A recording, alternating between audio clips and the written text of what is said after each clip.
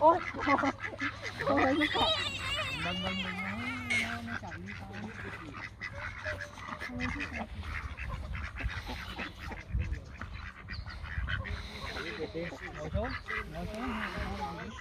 ôi trời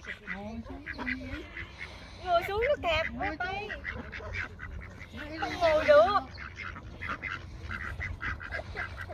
Bỏ tay xuống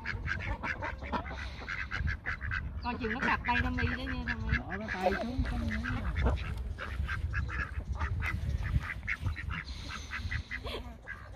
Wow, mệt.